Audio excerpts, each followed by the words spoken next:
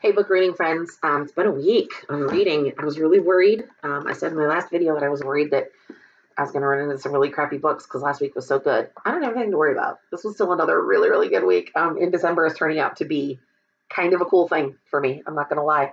Um, the first thing I did, um, there are three books that I read this week that were not a part of the Indiecember readathon. Um, I participated last weekend in the Cozy Little Readathon for the 13th to the 15th. It was a little three day thing. Um, there were just three book prompts, but then there was also two little fun bonus things you could do. You could do a 24 hour readathon from the 13th to the 14th. And then they had a challenge to build a gingerbread house and share your picture, either on Twitter or on Instagram. Um, I didn't stay up the entire 24 hours because I did have a violin recital and things to play for, but I did managed to stay up till like three in the morning, the, the the weekend of the, the, the day of the 24 hour readathon. So I did get a lot of reading done. I was up till like 3:30, and then I woke back up again at like 8 8:30, and got back to doing other things and reading and things. So I did get a lot. I did get three books read in the course of the weekend. One of the prompts called for you to read a cozy book, something that just made you feel cozy, warm, and fuzzy, something you knew you would love and enjoyed hunkering down with. For me, that was Janet Evanovich's Twisted 26. Um, I had been waiting for this one just came out. I've been waiting for my library to get it when it became available. Um, I had my name on the hold list and was super excited to get the hold and have them tell me it's here, it's in, you can come get it. Um, I love the books. I've read all 26 of them. I'm a huge Stephanie Plum fan. Um, I think she's the kind of person that would be fun to go get some lunch with and hang out with and just give it with because she's kind of a walking mess and, and she seems very real and very approachable. Um, another one of the prompts in the Cozy Little Readathon called for you to enjoy a book with a winter treat. Um, I have a, a, tea that I drink mostly only in the wintertime. It's called Sugar Cookie Sleigh Ride, and it really does taste like a sugar cookie in tea form.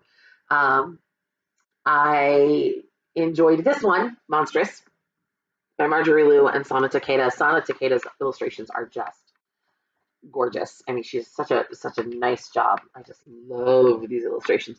Um, I discovered this series. This is the third volume, um, issues 13 through 18 in the third volume. Um, I discovered this series back in October when one of the prompts called for me to do a book, one, a graphic novel involving monsters.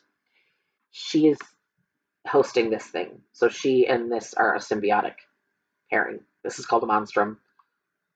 It's been her trying to figure out how to make this thing behave. Um, I believe there's probably more because this didn't feel like a finished story at all. It still felt like there was a lot that could happen. Um, so yeah, it's a it's a it's a fun story. It's not a genre I normally drift to, but after I read the first one, I was drawn in enough that I needed to keep reading it. So that was my winter treat. The other prompt, the final one, was a winter wonderland. Read a book with a winter theme, snow or winter. I read this every year. And I said in my last video that this copy I actually picked up when we were in London this summer at the Dickens Museum. My other copy had vanished, so last year when I read it, I had to go get a copy out of the library. Um, it's only 156 pages, and if you look at how small this book is, I'm really, really picky about movie versions of the story because you can do large chunks of it exactly as it's described in the book. Because it's only 156 written pages. You can do a two hour movie and quote huge portions of the book.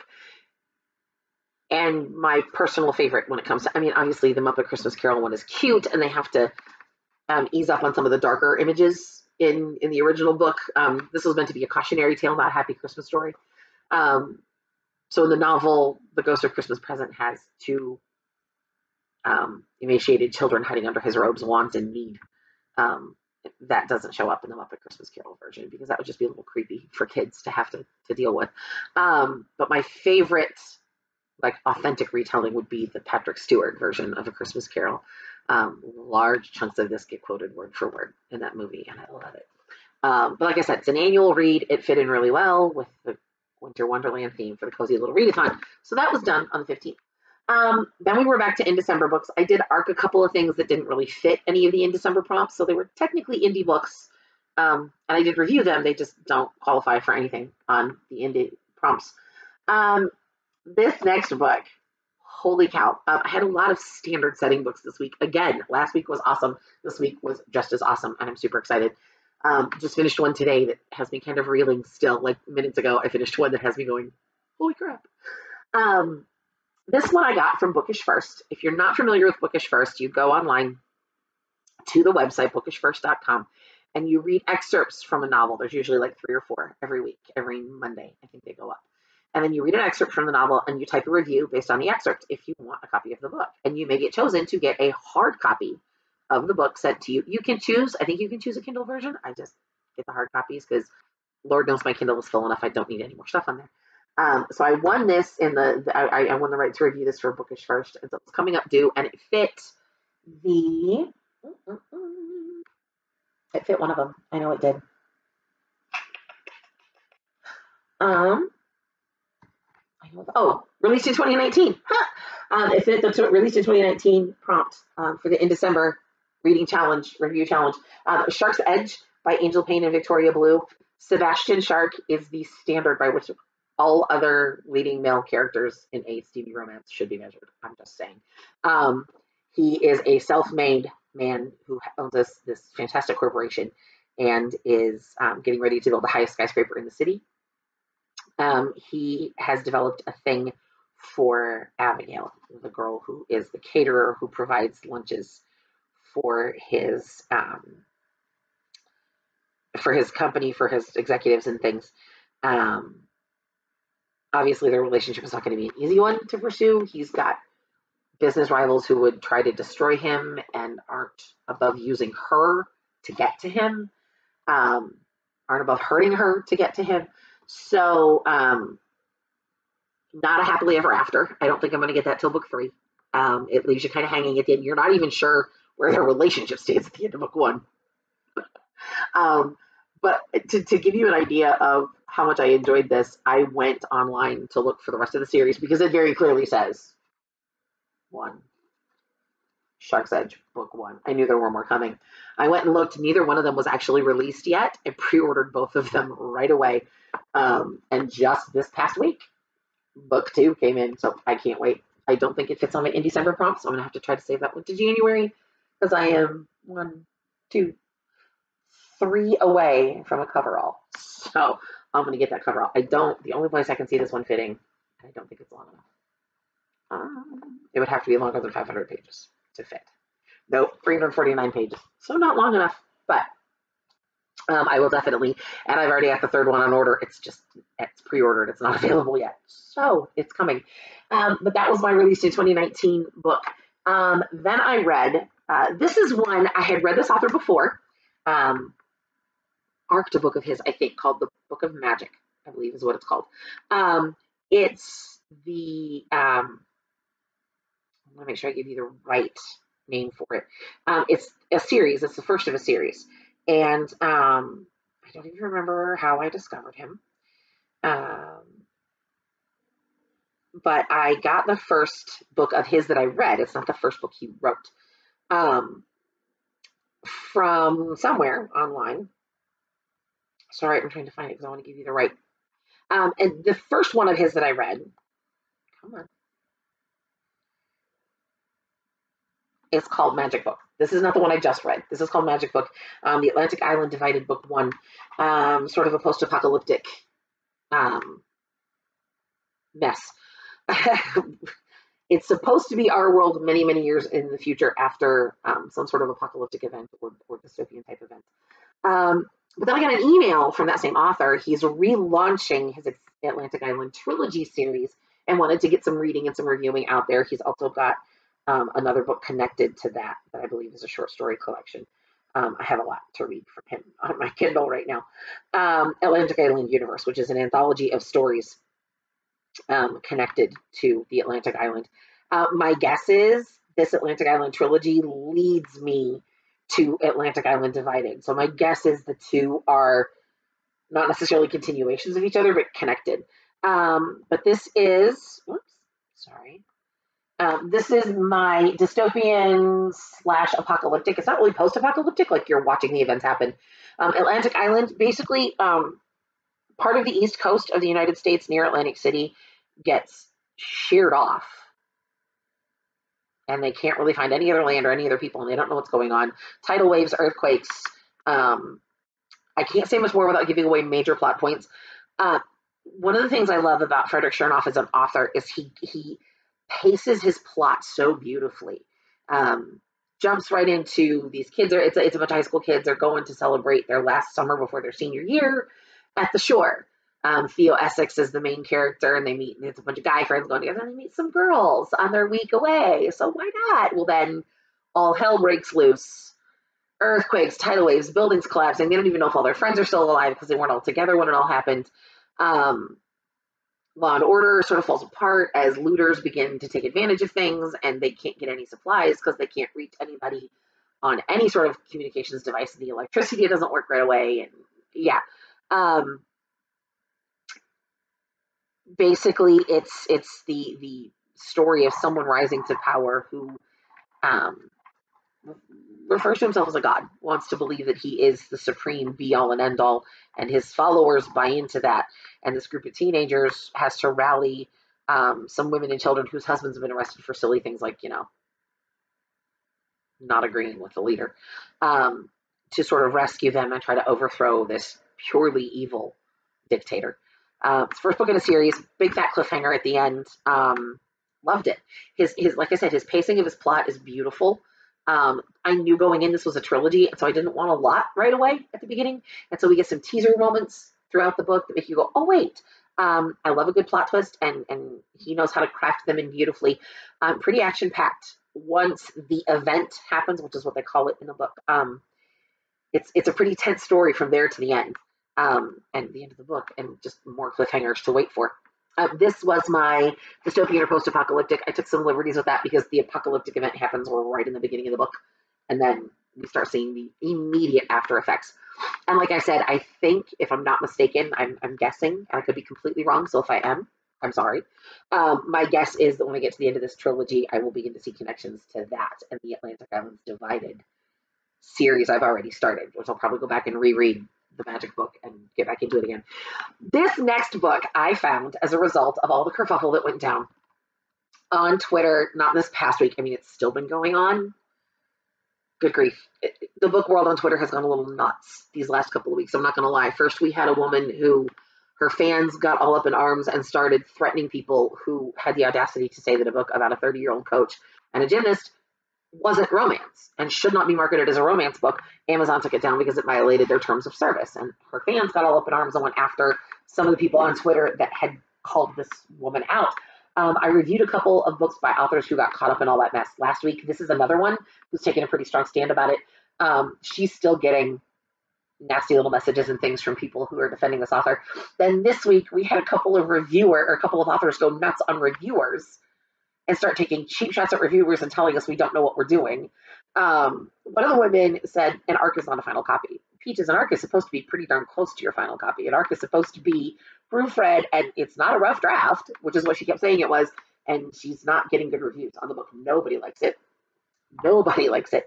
Um, I I actually went and looked at the, the, the synopsis for the book was just so over the top and overly flowery. I was very lost and confused. That's what the storyline even was. So I didn't read the book, but she had written this five star review just talking crap about all the other reviewers violating Goodreads terms of service. So several of us flagged that to Goodreads and we're like, uh, this isn't allowed.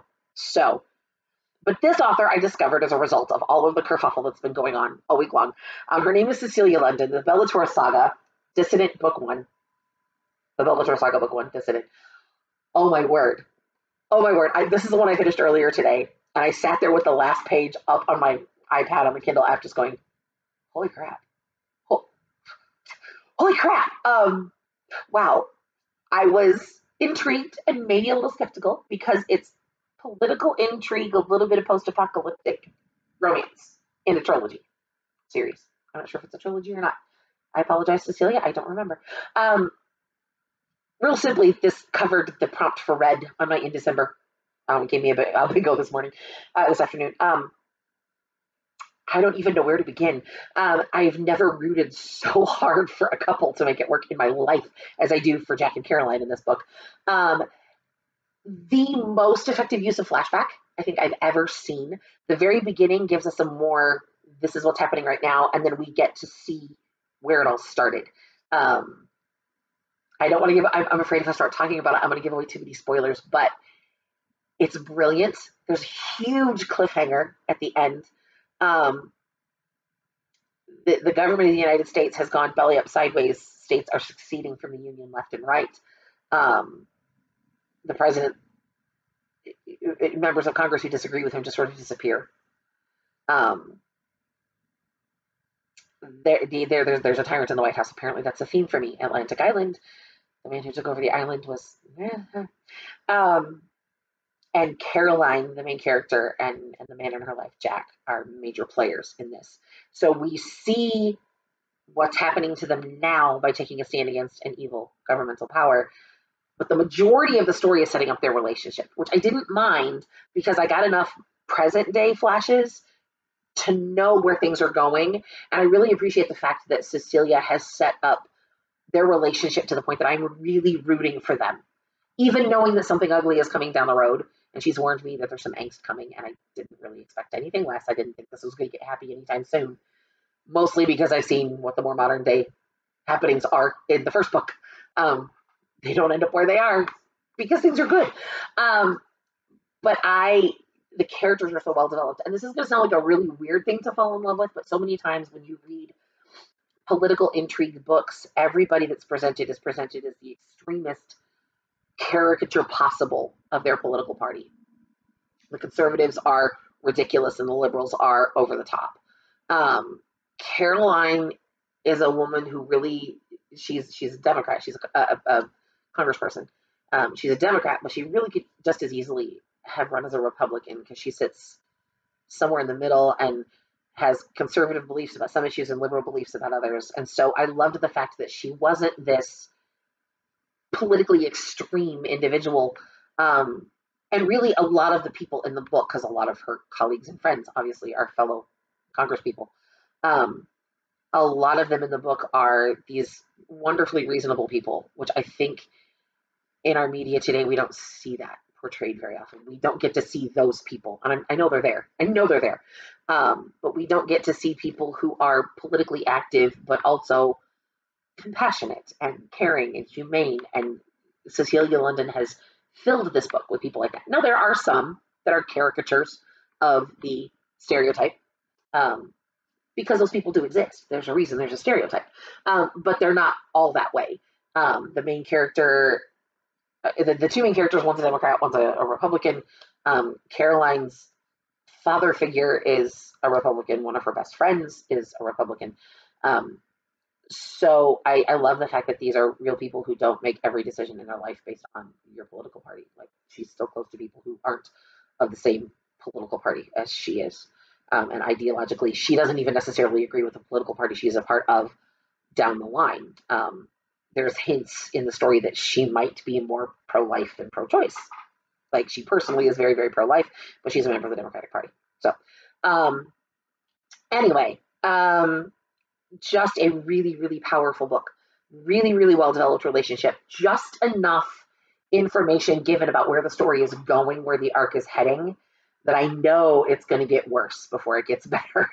Um, but I'm here for it. I'm here for. I'm so ready to read the rest of this series. Cecilia London has stolen my heart. I have become an ardent fan in one book.